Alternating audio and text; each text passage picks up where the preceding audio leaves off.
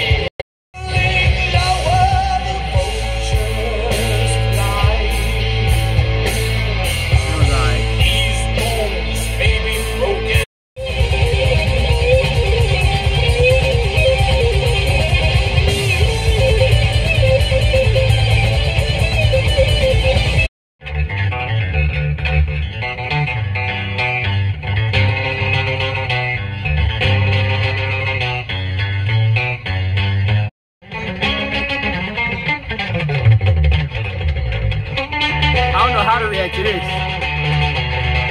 I'll take it though.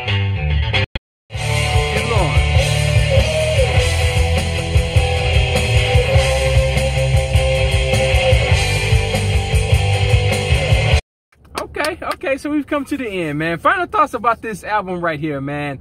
Uh, this album was fantastic, uh, the first half. And then right there at the tail end of this thing, it started to get a little a little uh, stale, a little weird. Uh, they, they had a little um, little solo moment right there that was pretty interesting.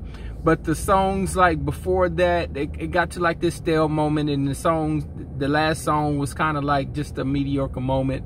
Uh, so I give this album a solid 50-50, man. Man, the first half of this album really had my attention, had me rocking and rolling, man. Uh, this guy reminded me of of Megadeth a little bit and the instrumentation uh, had hints of Iron Maiden in there a little bit. And uh, he was his own uh, album, his own, this own person, his own band. So I'm interested, man, to uh, hear more of this band, that's for sure. Uh, this is just the first album. Let's see if the production clears up, uh, if his vocals clear up a little bit later on. But this first album right here was a solid 50-50 for your boy. I'm definitely interested to hear more from this band right here. You guys saw my reaction to this thing.